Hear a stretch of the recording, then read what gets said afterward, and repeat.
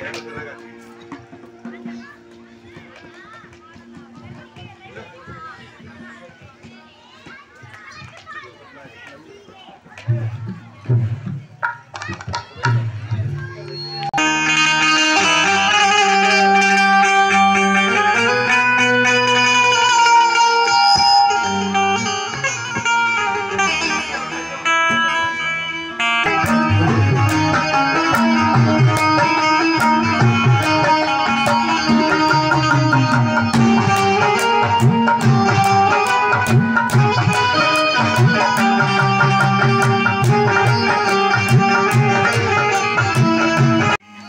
प्रस्तुत करें।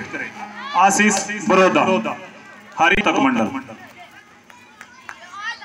कार्यक्रम में पार्टिसिपेट करना चाहता है। डांस स्पीच पोइम एनीथिंग तो वो अपना नाम लिखवा सकता है। अगर तो वो अपना नाम लिखवा सकता है।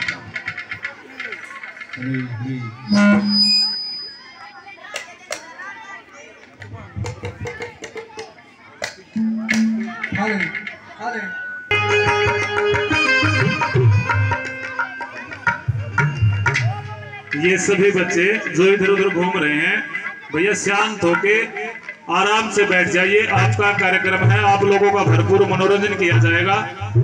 इधर उधर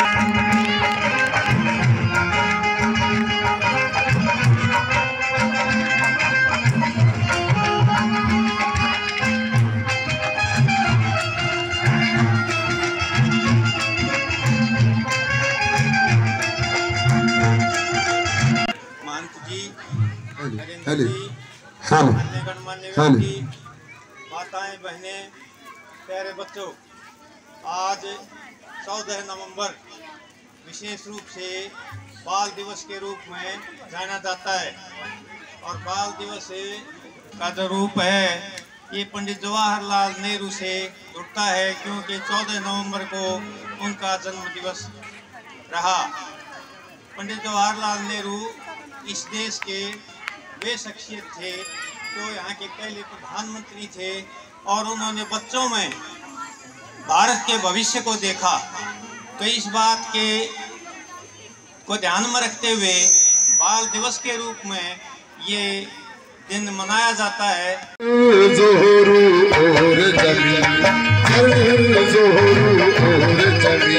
सता रही से सता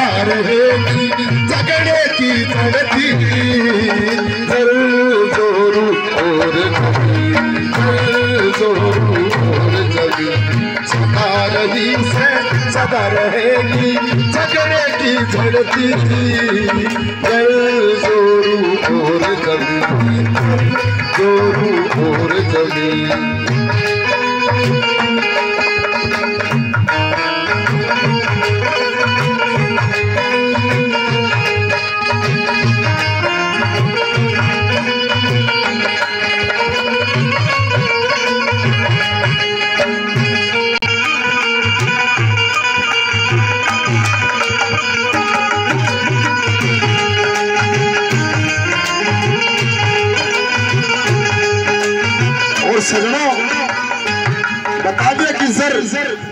जर का अर्थ होता पैसा सारा रोड़ा रह गया। बहुत दिन पहला कभी रच के चले गए। अगर समय आना भी रबिया सबके में रह जाएगा। कैसे बताया? और चरच के खातिर मान से उल्टे सीधे काम करे से। काका चोरी रिश्वत खोरी खुले आम चरके खातिर मानस उल्टे सीधे काम करे, सर। काका चोरी रिश्वत खोरी खुले आम करे, सर।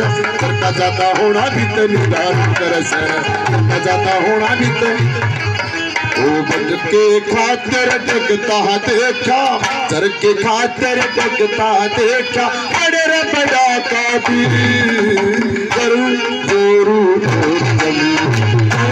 जोरू और सदा रही, से, सदा रहेगी, झगड़े की झड़ती करू जोरू और जमी करू जोरू और जमी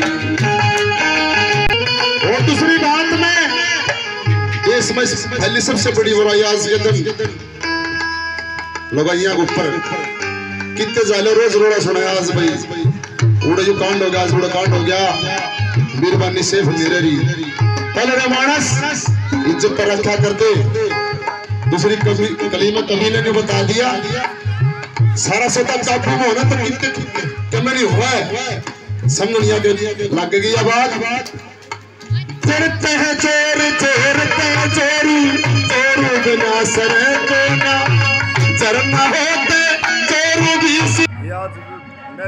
नेहरू द्वारा करसोवा गाँव के अंदर सांस्कृतिक प्रोग्राम चौदह नवंबर को किया गया है। इससे सांस्कृतिक कार्यक्रम को बढ़ावा देने के लिए अपने कल्चर को पुराने कल्चर को बढ़ावा देने के लिए ये युवा क्लब द्वारा नेहरू युवा क्लब द्वारा ये प्रोग्राम टीम द्वारा करवाया गया करसोवा गाँव में। बाहर बाहर से टीमें आई हैं हम बाहर से बहुत युवा क्लब की रोहतक से बहुत दायवा से सोनीपत से और जिलों से भी टीमें सांस्कृतिक प्रोग्राम के लिए आई आपका नाम? विजेंद्र राठी आज ये अपना ये जो है जो दिवस मनाया जाता है उसको हमने एक सांस्कृतिक प्रोग्राम का और इसमें जो गाँव के बच्चे हैं चाहे वो किसी भी स्कूल में पढ़ते हैं भाग ले सकते हैं। ये कार्यक्रम का एक मकसद है कि भी बच्चों को स्टेज पर पेश कराया जाए और वो आगे बढ़ करके गाँव का नाम रोशन करें। ये अपना युवा का संकल्प छोड़ा है और इस तरह के गाँव के बच्चों के लिए करवाता रहता है।